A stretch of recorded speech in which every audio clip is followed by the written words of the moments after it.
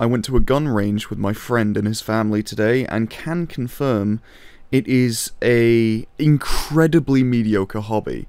There's nothing constructive or creative or even particularly fun about it. The attendant was very professional, showed us how to use the firearm, but the atmosphere just made you so nervous. To put it one way, I did not have confidence that the people there should be trusted with guns. There is something to be said about wielding a machine whose purpose is to end human lives. Also, you don't get how loud guns are until you've heard one in real life. They had these target papers that had like a vaguely Muslimy looking guy next to a who was like holding a woman and you had to shoot the Muslim guy without without shooting the woman. Incredibly post 9-11 place. My gun positive friends cite the feeling of power as like the source of joy.